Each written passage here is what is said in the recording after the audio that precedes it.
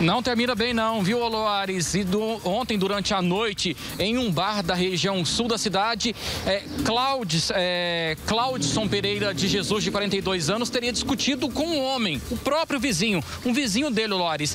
E ele estava num bar bebendo com o vizinho, discutiu, depois foi embora para casa. Inconformado, o vizinho, horas depois, foi até a casa de Claudson com uma faca na mão e golpeou a vítima. Depois de cometer o crime, o suspeito fugiu. O SAMU foi acionado, mas foi constatada então a morte de Claudson, de 42 anos, no local. Vamos ver agora o, mais detalhes da investigação com o delegado do GIH, Luiz Carlos. Segundo os levantamentos preliminares, na verdade foi uma briga entre dois vizinhos. Eles discutiram num bar próximo da região. Essa briga evoluiu, essa vítima foi embora acompanhada de sua esposa.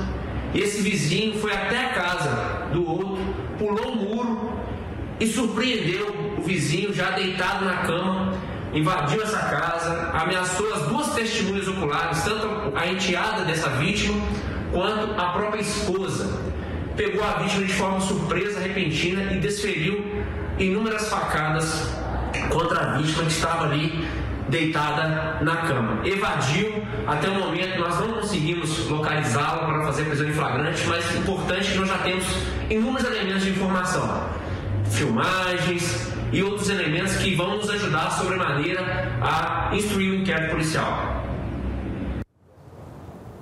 A polícia continua então em busca desse suspeito aí, Lores. E como você disse, né, por causa de uma, por causa de bebida, uma discussão banal resultou em mais uma morte aqui em Anápolis.